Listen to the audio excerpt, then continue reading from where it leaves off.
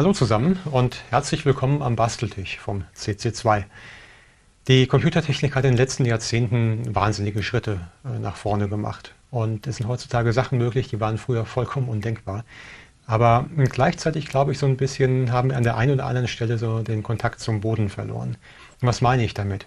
Nehmen Sie einen Computer aus den 80er Jahren und schalten den ein, dann haben Sie im Regelfall einen Basic-Interpreter, der sich meldet. Und er erwartet von Ihnen, dass Sie ihn programmieren. Und Sie konnten natürlich auch Programme von anderen Leuten laden und die dann ausführen. Aber die Idee, dass Sie tatsächlich verstehen, wie der Computer funktioniert und dass Sie dann ein Programm schreiben und der Computer wirklich mit diesem einen Programm beschäftigt ist, das ist, glaube ich, eine eindrückliche Erfahrung, die auch didaktisch wichtig ist, wenn wir nachfolgende Generationen an Computertechnik heranführen, wenn wir nachfolgende Generationen digital mündig machen wollen. Und dieses Spielen, dieses direkte Erleben von dem, was ich programmiere, dass das dann tatsächlich Einzug findet in das, was der Computer macht. Das geht so ein bisschen verloren, wenn das nur noch irgendwo in einem kleinen Fenster in der Bildschirmecke läuft. Was meine ich damit? Also ich habe aus Wolfgangs Archiv äh, mal einen Computer aus damaligen Zeiten mitgebracht. Also in dem Fall ein Pocket Computer, ein TRS 80 Modell 100. Und da läuft ein Basic-Interpreter. Er sagt oben OK und wartet auf Eingaben. Jetzt habe ich hier aber schon ein Programm eingegeben und ich sagte, es geht auch so ein bisschen um Didaktik. Ich habe nicht mit dem Rechner, aber ich habe auf die Art und Weise angefangen, Programmieren zu lernen als Grundschüler. Und da passt dann auch ein Programm, so ein typisches Grundschulprogramm, was auf dem Bildschirm schreibt, wie heißt du, eine Eingabe erwartet und einen dann begrüßt. Und wenn man das dann ausführt, naja, das ist jetzt nicht besonders überraschend, aber ich mache es. Also es erwartet von mir, dass ich meinen Namen schreibe.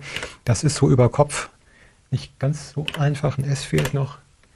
Jawohl. Wir haben hier also eine ganz direkte Art und Weise, mit dem Computer zu programmieren, ohne wie man das heute machen würde, dass wir uns erstmal einen Python-Interpreter zum Beispiel suchen müssen oder einen Editor öffnen müssen, um so ein Programm wirklich zu schreiben auf einem heutigen Rechner. Aber ich glaube auch, es gibt von der Idee, von der Philosophie her einen Nachfolger von diesen alten Rechnern. Und das sind die Mikrocontroller. Für mich im Prinzip ein Meilenstein ist der Arduino gewesen, weil wir haben hier also die Möglichkeit, Sensoren anzuschließen, Display anzuschließen, einen Summer anzuschließen. Er kann also mit der Umwelt interagieren, kann Werte einlesen und entsprechend handeln. Wir haben auch die Möglichkeit, über USB ihn sehr einfach zu programmieren oder Daten an einen Computer weiterzuleiten. Das ist die eine Sache, die so schön ist daran. Die andere Sache ist, dass die Programmierung hiervon sehr einfach gemacht wurde. Also es ist zwar in C und C++ zu programmieren, es gibt auch andere Programmiersprachen, aber so war es vorgesehen. Und das sind ja Programmiersprachen, die nicht als besonders leicht gelten. Aber man hat es hier tatsächlich geschafft, ja, diesen C-Dialekt so einfach zu gestalten und die Systemaufrufe im Hintergrund für den Anwender unsichtbar zu machen, dass das eine Sache war, mit denen man wirklich Einsteiger, mit denen man wirklich auch junge Leute ähm, das Programmieren lernen konnte. Jetzt schielen Sie wahrscheinlich auf die Überschrift von diesem Video und da steht was von LoRa und ich rede hier schon seit ein paar Minuten und habe noch gar nichts zu LoRa gesagt. Ich komme dahin, geben Sie mir noch eine Minute, Minute, denn auch der Arduino hat ja Weiterentwicklungen erfahren und wie das oft so ist, wenn etwas gut ist, dann gibt es manchmal Leute, die es dann noch besser machen. Und in dem Fall waren es dann irgendwie mal wieder die Chinesen, die diesen sogenannten ESP32 entwickelt haben. Das ist also auch ein Mikrocontroller und Sie sehen hier schon, da ist vorne ein Display drauf und äh, eine Antenne drauf und hier hinten sind noch so ein paar Chips. Nun, dieser Mikrocontroller hat das, was dem Arduino eigentlich immer fehlte und was ihm bis heute in vielen Ausführungen fehlt, vervollständigt, komplettiert. Wenn ich mal eine andere Ausführung von diesem ESP32 nehme, das sehen wir es nämlich. Da steht drauf BLE, also Bluetooth LE, Wi-Fi, WLAN und LoRa. Also diese äh, Mikrocontroller war, wurden dann erweitert, um, ich kann es noch mal die Kamera halten, um die Konnektivitätsmöglichkeiten, die dem Original Arduino hier fehlen, weil er im Prinzip nur über USB kommunizieren kann. Und das eröffnet natürlich ganz, ganz neue Türen.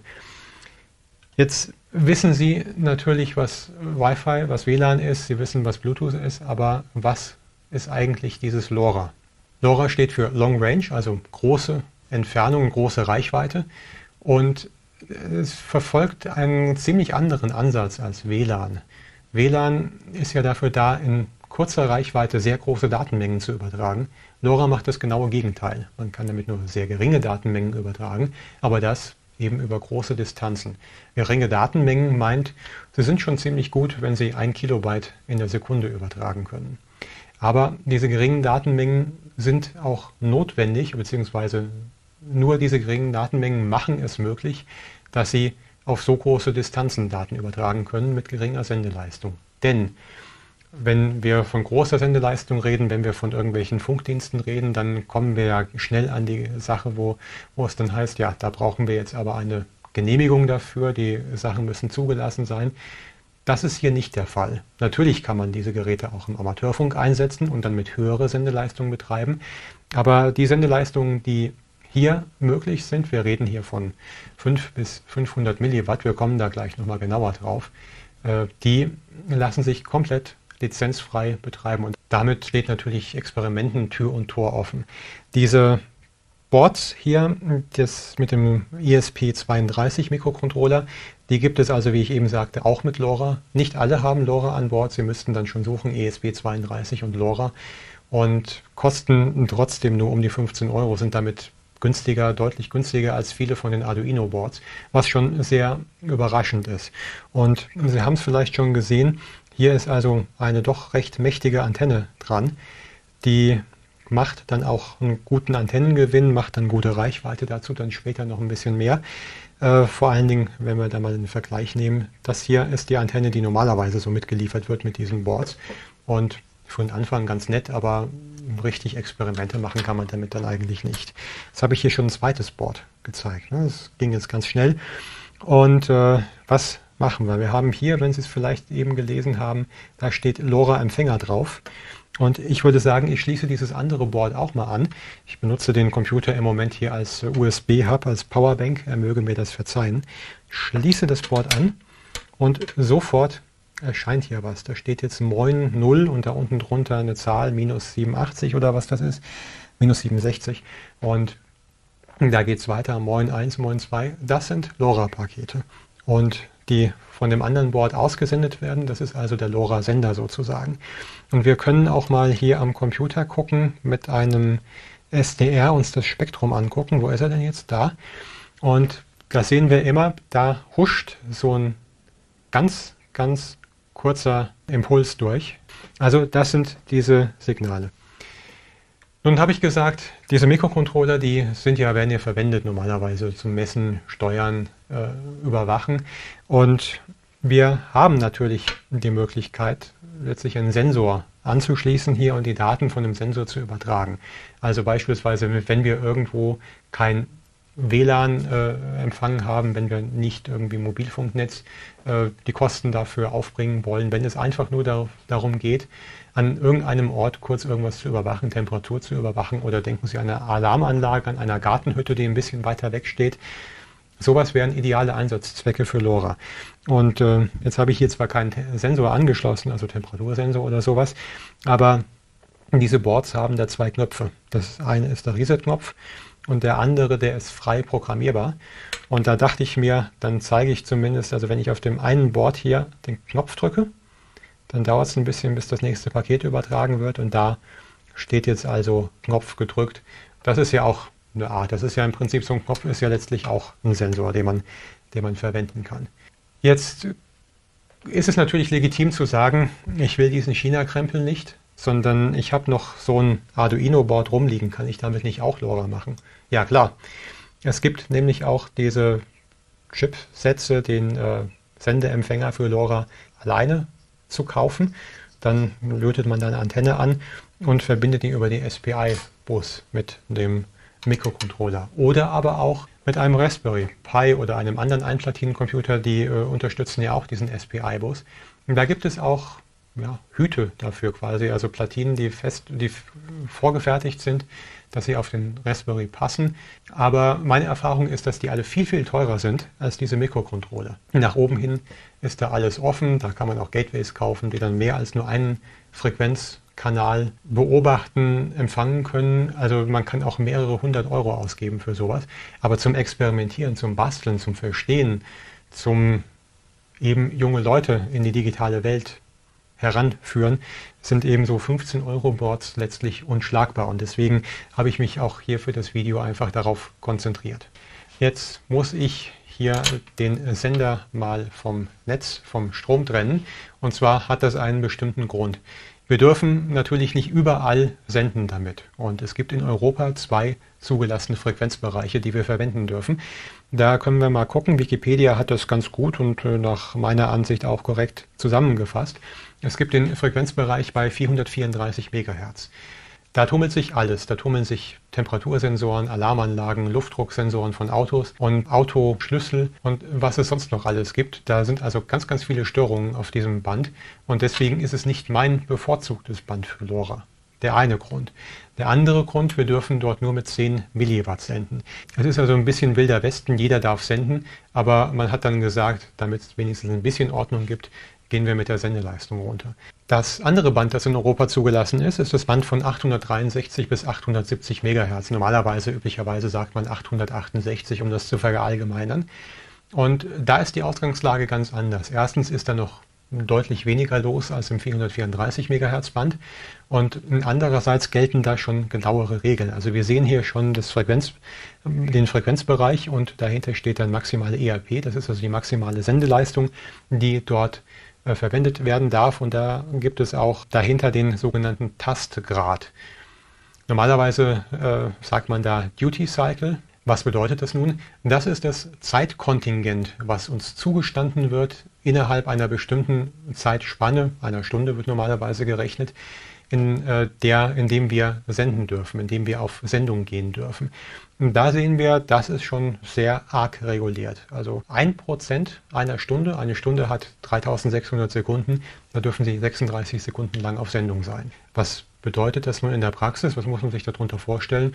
Nun, damit kann man durchaus so vier bis sechs Mal die Stunde Wetterdaten, Temperatur, Luftdruck und sowas übertragen, aber dann ist auch Schicht im Schacht, dann geht nicht viel mehr.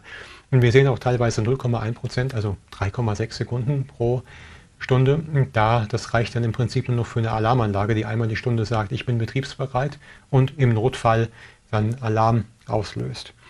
Und wir haben aber auch da ein kleines Wildwestband, da dürfen wir dann mit 100 Prozent, aber auch nur mit 5 Milliwatt Leistung senden. Was passiert jetzt, wenn sie sich nicht daran halten? Naja, je weiter ab sie vom Schuss wohnen, desto weniger Leute kriegen das mit. Aber es versteht sich natürlich von selbst, wir wollen alle irgendwie in friedlicher Koexistenz da leben. Und deswegen ist es schon angeraten, dass wir uns daran halten. Im Prinzip ist es auch ein Verstoß, der auf die eine oder andere Weise dann geahndet werden kann. Und deswegen habe ich hier auch eben meinen Sender, der doch relativ oft hintereinander gesendet hat, auch wieder vom Strom ge genommen, weil er jetzt in den paar, paar, Minuten, die er aktiv war, im Prinzip sein Kontingent für eine Stunde schon fast erfüllt hat.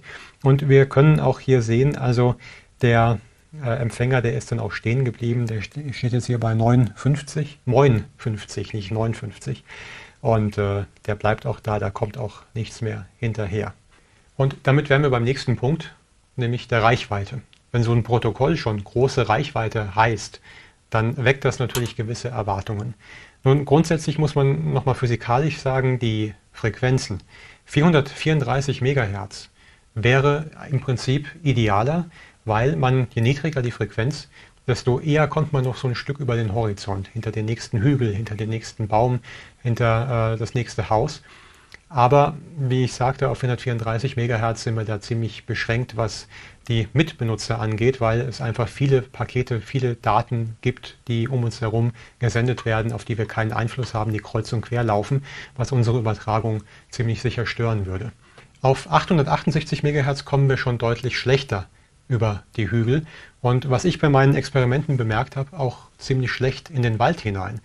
Also ich habe verschiedene Experimente durchgeführt und ich muss sagen, ein sommerlicher Laubwald frisst extrem viel von dieser Sendeenergie.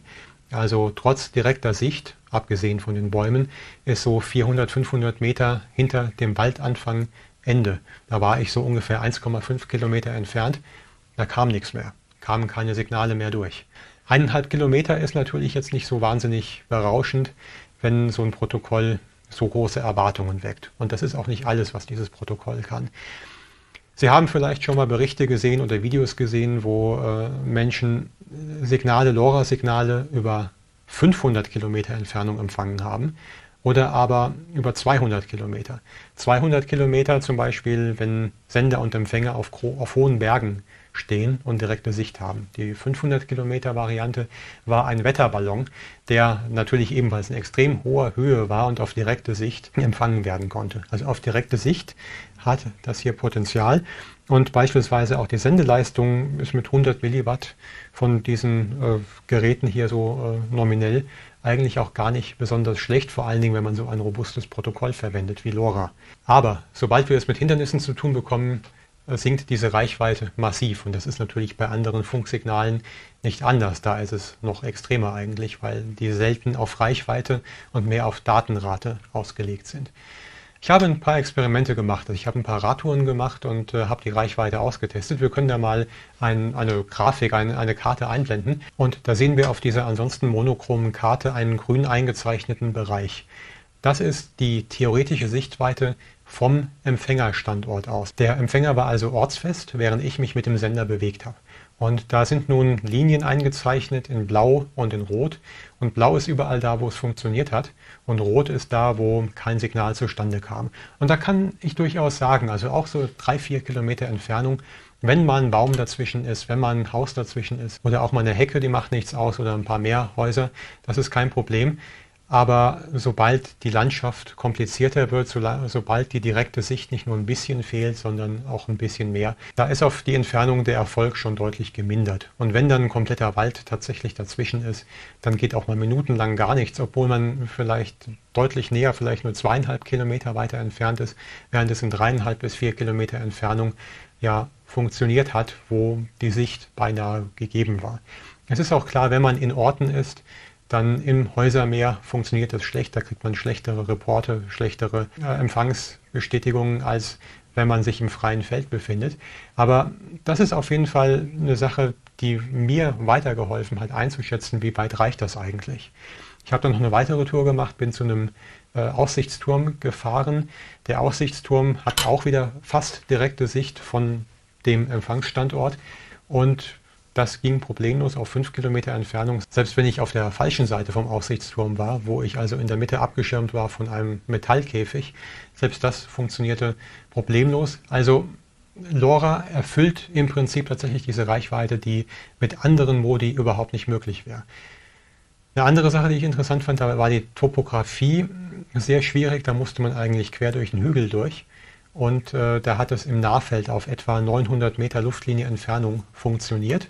Auf eine Entfernung, wo ich schon viel experimentiert habe, ob ich da vielleicht eine Verbindung hinbekomme, zum Beispiel mit WLAN. Und mit WLAN ist einfach 0, nichts zu machen. Es funktioniert nicht, es geht nicht. Ich kriege auf diese Entfernung, auf diese bestimmte Strecke kein WLAN-Signal hin, keine WLAN-Verbindung hin, während LoRa problemlos, wenn auch natürlich relativ schwach schon, aber mit genug Reserve problemlos lief. Also es ist ein sehr interessantes Protokoll, wirklich, wenn es darum geht, einfach nur ein paar Daten zu übertragen. Ich möchte heute gerne auch mal zumindest kurz zeigen, wie man so einen Mikrocontroller eigentlich programmiert, dass er LoRa-Signale sendet oder empfängt. Also was so das einfachste Programm ist, um das zu machen. Und das Gute ist, ich sagte ja am Anfang schon, ich wollte noch mal kurz auf Arduino zu sprechen kommen, denn zum Erfolg der Arduino Plattform und diese Arduino-kompatiblen Geräte, die also fast 100% kompatibel sind mit dem Programmcode, den man für das Original äh, schreibt, äh, gehört auch, dass es Bibliotheken gibt, dass man einfach Sensoren ganz einfach, spielend einfach einbinden kann oder auch Displays äh, wie, wie das hier und äh, dass das einfach läuft. Und genauso ist es auch mit LoRa. Und da schauen wir am besten mal hier auf den Bildschirm. Und da würde ich sagen, man installiert also die Bibliothek und sagt dann hier Beispiele in der, das ist übrigens die Entwicklungsumgebung, also die von Arduino bereitgestellte, zur Verfügung gestellte Entwicklungsumgebung, die standardmäßig am besten unterstützt wird. Und dann schauen wir hier weiter und dann sehen wir hier unten zum Beispiel LoRa. Jede Bibliothek, die man installiert, bringt normalerweise Beispiele mit. Und dann können wir hier mal auf LoRa Sender klicken. Und dann bekommen wir sozusagen das einfachste Beispiel, um so ein Ding in die Luft zu bekommen. Ja, und da sehen wir hier oben also Include Statements. Das erste ist Include für den SPI-Bus. Das ist also der Datenbus, mit dem der LoRa-Sendeempfänger mit dem Mikrocontroller die Daten austauscht, das Protokoll sozusagen. Und als zweite Bibliothek sehen wir hier LoRa.h, also die LoRa-Bibliothek, die ja installiert ist, die dieses Beispiel hier mitliefert. Und dann geht es weiter. Hier oben wird erstmal einfach ein Zähler definiert und auf Null gesetzt. Und dann kommt eine Spezialität dieser Mikrocontroller, die man einmal verstanden haben muss und die dann ganz einfach ist. Wenn Sie Strom sehen, dann führen Sie erstmal eine Setup-Routine durch, wo Sachen geregelt werden, Einstellungen konfiguriert werden und so weiter. Und wenn Sie einmal diese Setup-Routine durchlaufen haben, dann gehen Sie weiter in die Loop-Routine, die Schleifenroutine und führen das, was in dieser Schleife steht, durch, bis Sie irgendwann keinen Strom mehr sehen, also bis ans Ende Ihrer Tage sozusagen. Und das ist jetzt das, was wir hier sehen. Wir sehen diese Setup-Routine und da wird im ersten Fall hier gesagt, die serielle Schnittstelle wird definiert. Braucht man im Prinzip nicht, aber äh, die, über die serielle Schnittstelle läuft das Debug. Da sieht man dann, mal gucken, funktioniert das Gerät, was gibt es denn aus, was tut es denn gerade. Das könnte man also im Prinzip auch noch hier rausschmeißen und das Programm noch einfacher machen. Das mache ich vielleicht auch. Also das sind diese drei Zeilen, die dann entfernt werden. Und dann bleibt nur noch die LoRa-Bibliothek über, die hier initialisiert wird. Und hier hinten ist die erste Stolperfalle. Da steht 915 E6. Das ist die Frequenz. 915 Megahertz wird in den USA, in Amerika, ich glaube in Japan auch, in einigen anderen Ländern verwendet. Dürfen wir in Europa nicht verwenden. Da sind andere Dienste drauf. Da würden wir andere Dienste stören. Könnte irgendwann mal Mecker geben. Also das müssten wir dann, da müssten wir uns dann hier im Hintergrund, was noch offen ist von Wikipedia, äh, eine Frequenz aussuchen. Ich sage jetzt einfach mal 867, das ist ja jetzt nur ein Trockenbeispiel.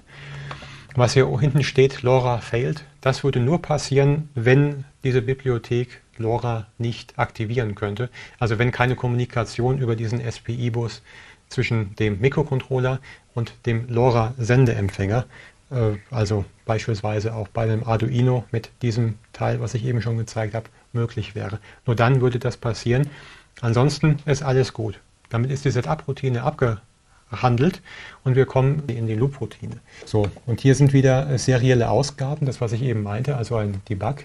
Eine Debug-Ausgabe, den Counter, der, der Zähler wird hier ausgegeben. Selbst das könnten wir entfernen.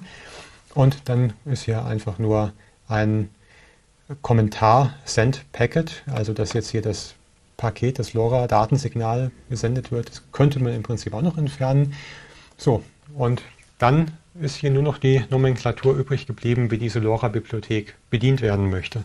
Also da wird ein Paket geöffnet, dann wird in dieses Paket Hello reingeschrieben und dann die Zahl des Counters. Und dann wird das Paket beendet und das signalisiert dieser Bibliothek, jetzt schickt das Paket mal los über LoRa zum Empfänger. Und dann wird der Zähler hochgesetzt und da unten wird fünf Sekunden lang gewartet. Das ist alles. So einfach lässt sich im Prinzip so ein Mikrocontroller programmieren. Naja, in der Theorie. Das ist ja das Beispiel, das Minimalbeispiel. Wenn wir uns das jetzt hier angucken, ich habe das dann hier mal modifiziert. Das sieht dann so aus. Und da ist es dann schon ein bisschen komplexer. Das Hello habe ich durch Moin ersetzt, hier unten beispielsweise.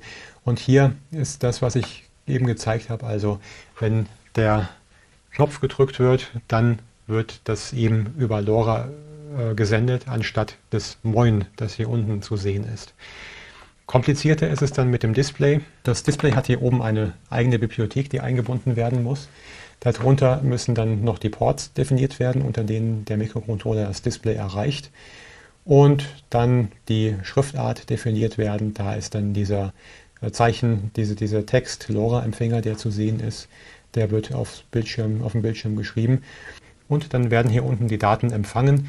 Die Daten werden für das Display aufbearbeitet und hier beispielsweise wird der Cursor, also die Position auf dem Display gesetzt und die Daten ausgegeben. Das ist dann schon nicht mehr ganz so einfach. Vor allen Dingen die Daten aus der einen Bibliothek zu nehmen und dann in die andere Bibliothek zu schreiben. Da müssen dann nämlich teilweise die Variablen umgewandelt werden in Strings hier beispielsweise, damit das funktioniert.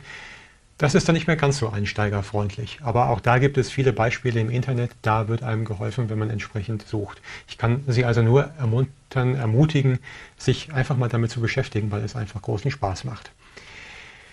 Ja, kommen wir zu einer anderen Sache. Kommen wir vielleicht zu einer verrückten Sache, wofür das eigentlich gar nicht gedacht ist. Aber so als Rausschmeißer möchte ich es zeigen. Weil hier steht so eine große Kiste im Amateurfunk. Im großen Funk sozusagen, wo man Lizenzen brauchte. Da gab es das sogenannte Packet Radio Protokoll und über Packet Radio konnte man mit Mailboxen kommunizieren, mit anderen äh, Funkamateuren kommunizieren und so weiter. Und das lief hier, das, das sieht man hier vorne irgendwo da, ja, 9600 Volt. Das lief also ähnlich langsam wie LoRa heute. Und da dachte ich mir so, darüber ging dann auch, wenn auch im Schneckentempo, ging dann TCP/IP. Und ich dachte mir so, kann man über so ein Protokoll wie LoRa nicht vielleicht auch TCP/IP übertragen, also tatsächlich eine richtige Internet, also eine richtige Netzwerkverbindung, wie sie ganz modern ist, äh, aufbauen. Und in der Tat geht das. Und dafür muss ich hier ein bisschen umbauen. Ich muss hier einen anderen, ein anderes Gerät anschließen und habe auf dem Nachbartisch einen Computer stehen und da ist auch so ein Mikrocontroller angeschlossen.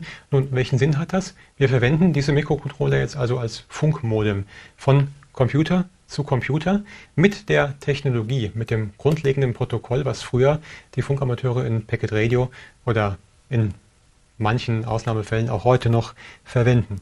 Und wir haben also hier ein anderes, ein neueres Modell von diesen Mikrocontrollern angeschlossen und können jetzt hier sagen, ich muss gucken. Ich habe das Modem jetzt initialisiert und es ist jetzt unter Linux eine Netzwerk, eine richtige Netzwerkschnittstelle geworden mit einer IP-Adresse. Und wenn alles gut geht, dann können wir jetzt sogar einen Ping versuchen. Und ich rufe im Hintergrund, hole ich mir mal den, ähm, den Wireshark dazu. Der soll so ein bisschen beobachten, was da alles passiert.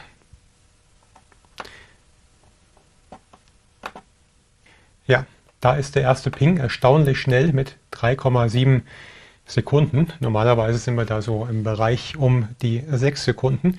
Ich lasse das mal ein bisschen weiterlaufen. Also es ist tatsächlich möglich, über LoRa, also auf dem LoRa-Protokoll, ein AX25-Protokoll, nämlich dieses uralte Packet-Radio-Protokoll aufzusetzen und da oben drauf dann nochmal TCP/IP aufzusetzen. Es ist der totale Overkill auf die eine oder andere Weise, aber es geht ja hier darum, zu spielen und zu verstehen und zu experimentieren. Es ist nicht das Protokoll, bei dem Sie fragen sollten, ja, warum denn überhaupt? Das ist dann letztlich so wie einen Angler zu fragen, warum er Fische angelt, wenn er doch auch in den Supermarkt gehen könnte.